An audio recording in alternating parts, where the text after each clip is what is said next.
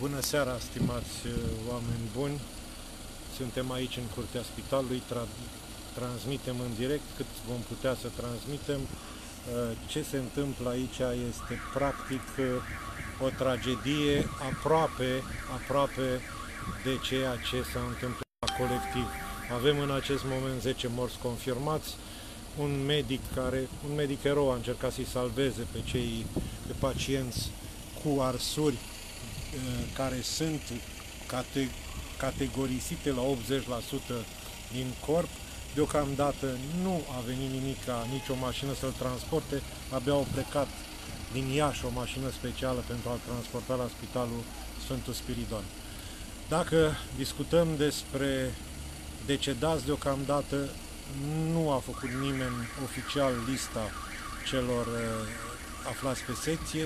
Ce știm în momentul acesta că mai este încă un medic care a fost uh, rănit, are un deget, se pare, smuls uh, de la explozie.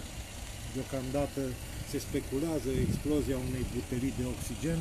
În ATI se folosește oxigenul. Uh, se mai spune și faptul că în aceste zile au avut loc lucrări de reconfigurare a secțiilor pentru mărirea numărului de paturi. Lăsând la o parte toate aceste lucruri, însă trebuie să facem câteva precizări. O politică dezastruoasă, o politică criminală uh, de asigurare a managementului la Spitalul Județean de Urgență ne-a adus în această situație. Uh, o politică care a ținut cont mai mult de interese personale, de grup, de gașcă, de interese de partid. Ce se întâmplă acum la Piatra Neamț cu un manager, fost primar, care a ajuns manager doar pentru că a trădat partidul unde era ca să vină alături de președintele Consiliului Județean, este dovada clară că așa nu se mai poate.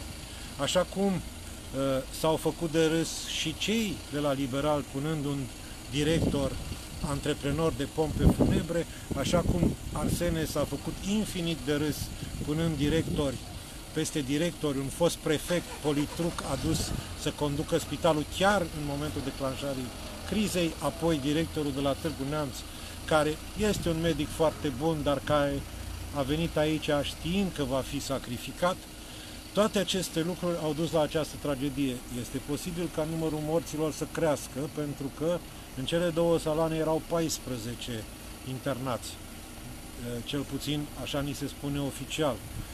Eh, toate aceste lucruri sunt și din cauza că nimeni nu a condus cu adevărat spitalul în ultima perioadă, poate doar în perioada cât a fost doctorul Verzea eh, o perioadă și s-a retras pentru că trebuia să vină domnul doctor Micu domnul doctor primar Micu, jurist de meserie.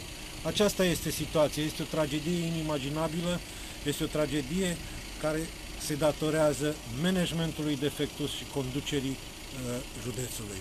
Să nu uităm, mesagerul de neamț de ani de zile atrage atenția asupra faptului că aici și-au bătut joc toți, inclusiv cei de la DSP, acceptând ca secții din spital să funcționeze fără să fie preluate de la constructor, cum, și, cum este secția pediatrie, în care și acum sunt bolnavi.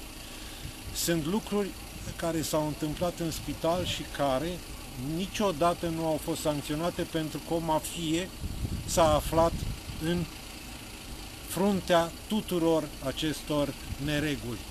Să nu uităm, la spital s-a vorbit despre concursuri trucate la nivel de asistență, s-a vorbit despre concursuri trucate la nivel de șef de secții, s-a numit, s-a vorbit despre faptul că un membru al comisiei de concurs dădea note din America Centrală, fiind în concediu, în momentul în care erau concursurile aici, pentru că fără el nu se putea face niciun concurs. Despre cine este vorba, nu aveți decât să răspundeți mesagerul și să aflați. Este omul care practic a influențat tot ce s-a întâmplat în acest spital în, ultimul, în ultimii ani. Un spital care de când a început criza COVID până acum a schimbat directorii ca pe, mă scuzați, șosete. Ne oprim aici cu această transmisie și vom reveni probabil mâine cu emisiuni pe larg despre toată această tragedie.